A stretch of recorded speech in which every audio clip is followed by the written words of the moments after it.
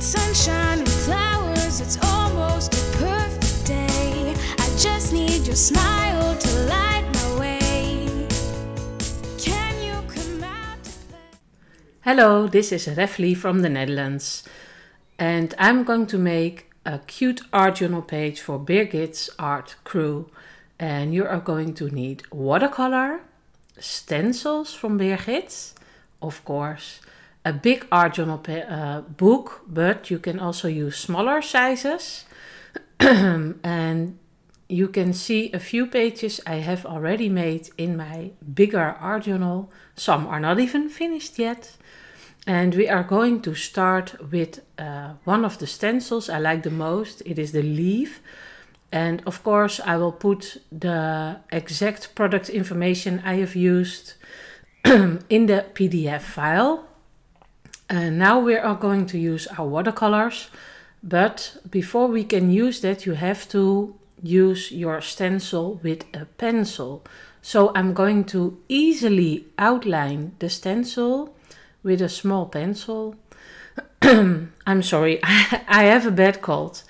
Um, so uh, you will need a pencil for this. Of course, you can try to work directly with watercolors on your stencil, but for me it never works because watercolors are simply too fluid to use with a stencil. So get your pencil out and get your favorite stencil out and try to put your stencil down on your paper the way you like the size the most and then simply outline every piece of your stencil with your pencil. So every um, part of the inside uh, I will outline.